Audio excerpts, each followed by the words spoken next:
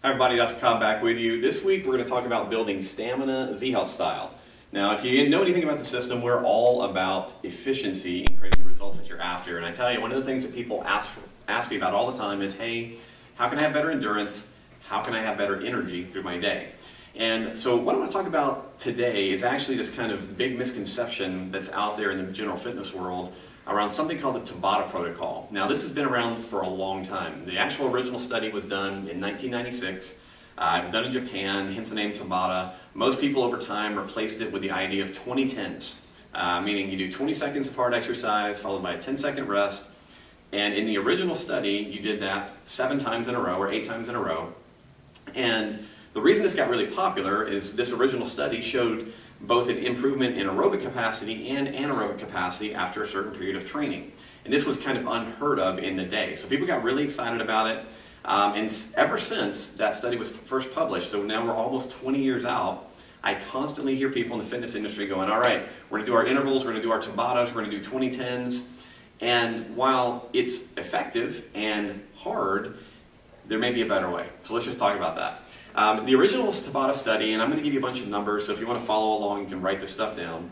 But in the original study, like I said, uh, the goal was they put these high-level athletes on an exercise bike, and they made them cycle really, really hard.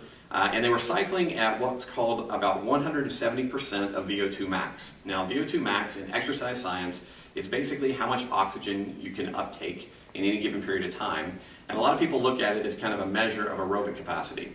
So they were pushing pretty hard, but they weren't actually maxing out in the original study because 170% is really not max effort. For most humans, max effort is around 250% of VO2 max. Um, but the problem is that they were doing 170% for 20 seconds, getting a very brief 10 second breather, and then going at it again.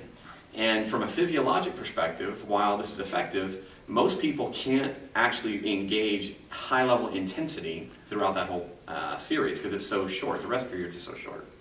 So here's the big news and the things that we're, we're looking at. 2005, another study was published, and this is one that I want to talk about uh, because I think it's really interesting and it's powerful and it's a reminder of one of the most important things in all exercise world, which is the level of effort that you put into something often determines the results. So in uh, 2005, another study was published, and it's been repeated multiple times. And people said, hey, this Tabata protocol is cool, but is there something better? Is there something different? So in this particular uh, process, what they did is, again, they put people on exercise bikes. But instead of exercising hard for 20 seconds, resting for 10 seconds, they had these athletes go really hard. So all out maximal sprint on the bike for 30 seconds, and then rest for four minutes. All right? Not 10 seconds, four minutes. And then they had them repeat that in their first two training sessions three more times. So they did a total of four 30 second sprints, separated by four minutes of rest each time. And they did this for two weeks. They did six training sessions over two weeks. Now, here was the crazy part. In two weeks of training, and if you actually look at the total training time, it was roughly about 16 minutes of hard exercise over two weeks. Their cycle endurance time doubled.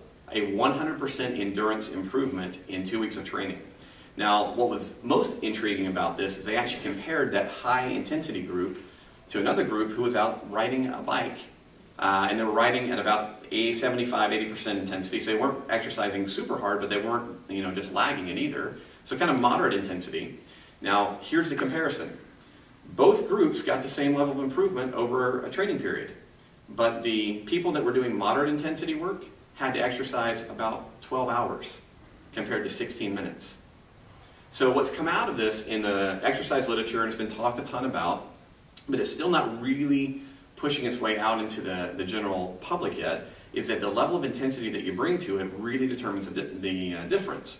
But because people are people, we think that high intensity and less rest is great, and that's actually not the case. What we want to think about in building stamina most efficiently is high intensity work followed by a lot of rest. High intensity work, more rest, right? It's kind of a match made in heaven for a lot of us. Uh, so the basic protocol, what I'm going to suggest to you trying over you know the next few weeks, is start kind of engaging with this idea of what would it feel like to do 30 seconds of pretty close to all-out exercise, followed by four minutes of rest, and then do it again. Um, most of the time when I start people on these, these types of programs, I'm very cautious. You know, if you haven't been running, I don't want you to go run all out for 30 seconds because your legs aren't going to be ready for it. So you want to choose a safe activity. Exercise bike is usually a good place to start. Um, if you haven't had you know, cardiovascular checkup with your doctor, you might want to do that before you start pushing really hard.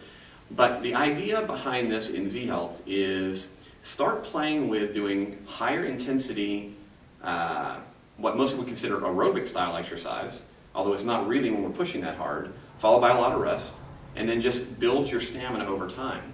The coolest part about this is that when you follow this kind of protocol, you should notice almost immediate results.